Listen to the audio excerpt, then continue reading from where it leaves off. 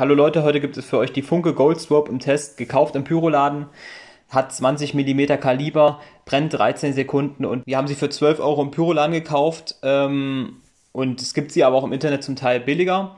Was man sagen muss, wir haben sie irgendwie anscheinend an der falschen Zündschnur angezündet, deswegen geht es direkt mit dem Finale los und irgendwie ein, zwei Schüsse haben auch quer geschossen. Ich weiß nicht, woran das liegt, vielleicht weil es die falsche Zündschnur war. Eigentlich darf das nicht passieren.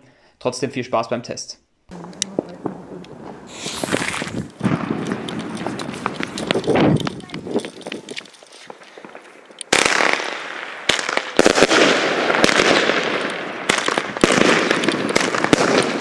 Jawohl.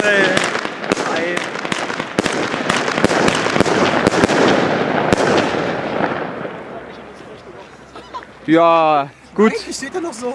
Die schießt halt in die andere Richtung, aber Wieso schießt er ja, 11 Euro, 11 Euro kann man machen, ne?